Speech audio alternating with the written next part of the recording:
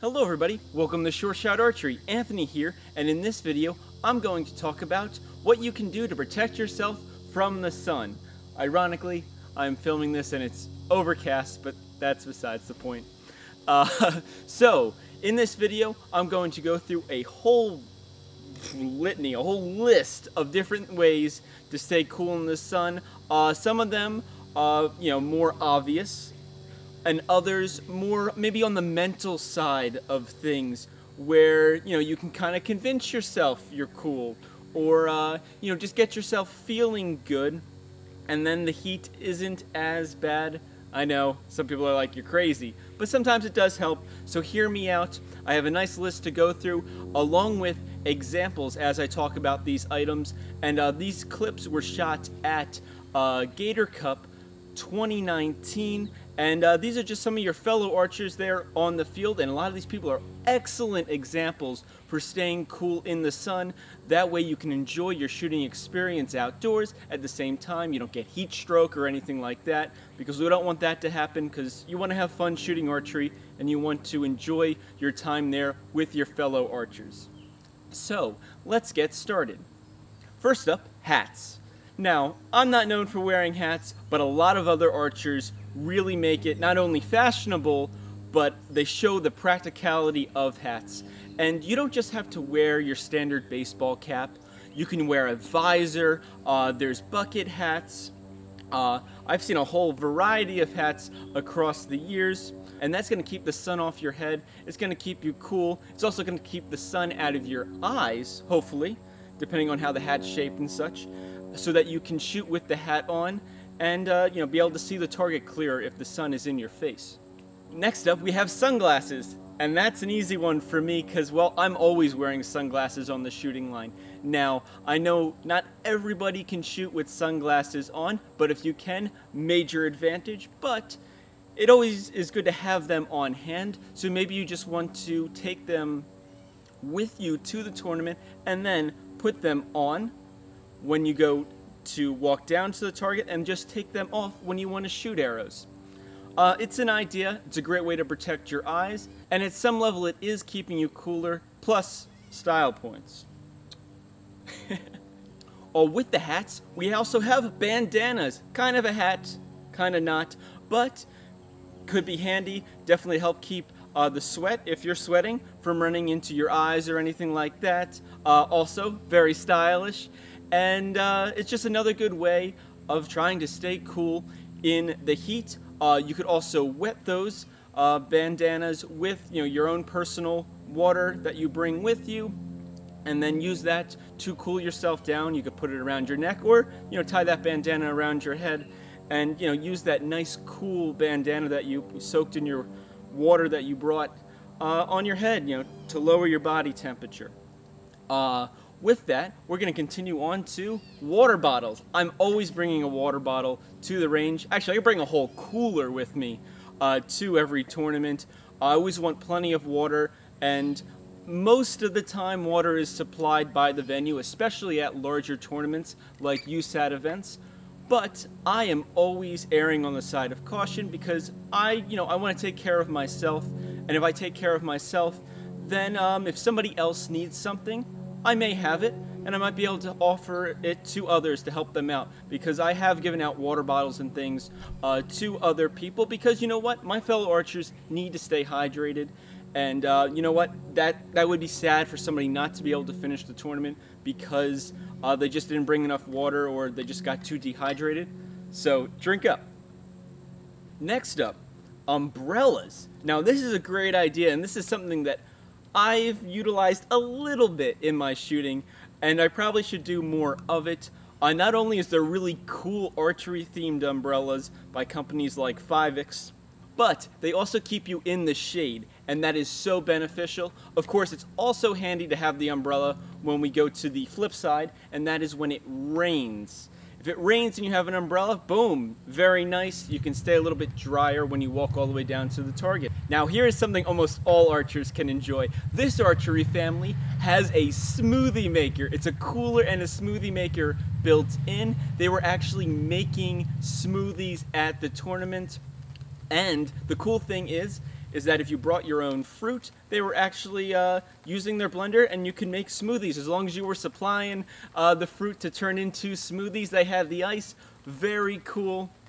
Now, of course, I don't know if they go to every tournament, but the idea was really awesome. I would say it was definitely a hit of the Gator Cup. Everybody was going over and checking it out because it's a great concept and it's a great way to have fun and stay cool at a tournament, especially when we're starting to get into the 100 degree range.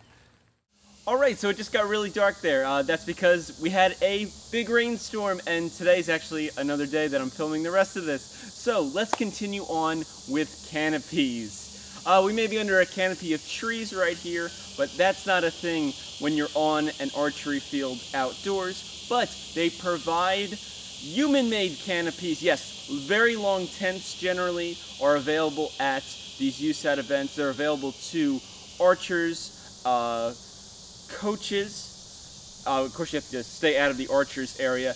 Uh, and there's usually ones available for preferred seating. Now, if you don't want to pay, you could always uh, you know, talk to a bunch of your archery friends or just bring your own personal canopy and there is a zone behind the shooting line, behind the archer's canopy to set up your own canopy for free. Uh, it's a pretty good idea to utilize that. It's a great way to stay out of the sun and by staying out of the sun, you stay cool, you stay refreshed, and you stay in the zone of shooting arrows, which is what we want to do. Now, Another aspect of staying cool that's not really uh, you know related to you or me is uh, DOS, uh, which is uh, the people that run uh, the shoot. They usually make announcements from the DOS stand. They run the clocks and things. They make sure everything is safe. People aren't uh, in front of the shooting line when archers are shooting, things like that. Well, they also make announcements reminding people to, you know, drink water, put on suntan lotion, things like that. Uh, so it's great to uh, you know take these reminders seriously and make sure that you're hydrating properly and things like that because it's definitely going to help you because you can forget. You know, you maybe you drink a little water on one end and then you know you get busy talking to somebody. Next thing you know, you're you're four ends in and you're like, oh, why do I feel so you know dry? It's because oh you haven't been drinking for the last. Uh, you know, half an hour or more, and it's, you know, 100 degrees out or whatever.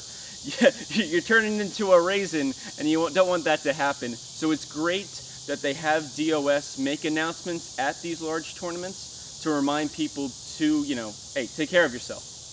It's important.